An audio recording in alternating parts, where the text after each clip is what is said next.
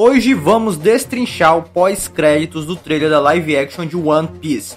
Luffy coube justamente olhando os cartazes de procurados e achamos alguns piratas conhecidos pela fandom por aqui. Álvida é a primeira a aparecer, eu quero lembrar que todas as recompensas dos piratas nessas cenas estão 100% coerentes com o mangá, e levando em conta a ordem dos acontecimentos e a presença do Kobe, esta cena deve ocorrer pós-Álvida e antes de encontrarem o Zoro. No capítulo 3, eles dão um balão pela cidade antes de verem o Zorão e arranjarem encrenca com o Helmepo. Eu acredito que essa cena das recompensas acontecerá nesse trecho.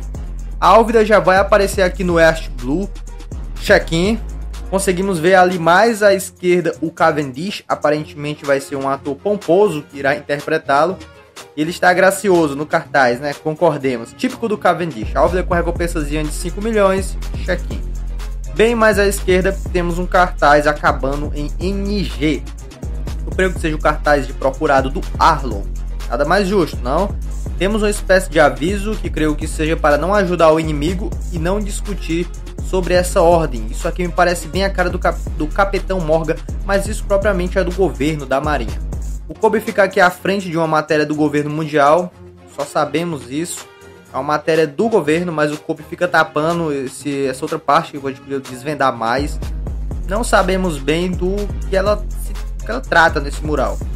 Tem uma notícia mais abaixo também, causando zero terror público, simplesmente dizendo que qualquer um pode ser um criminoso, até sua sombra pode ser uma criminosa.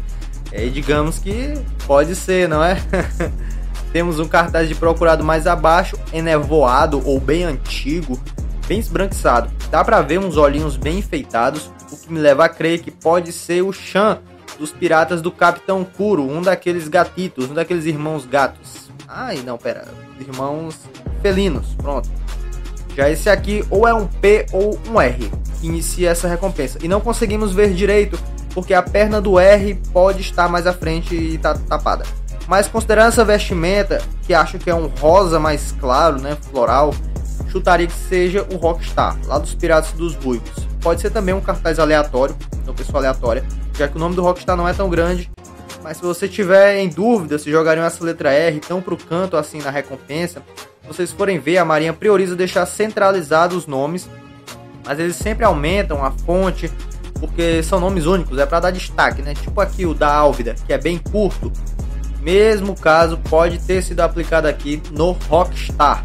Enfim, na próxima captura temos em destaque o Fox. Cara, esse e o próximo em destaque lembram demais os personagens de Lazy Tal.